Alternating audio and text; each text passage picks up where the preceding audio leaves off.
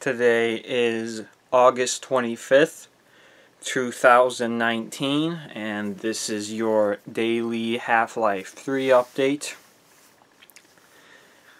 There is no news about Half-Life 3. And that has been your daily Half-Life 3 update for August 25th, 2019.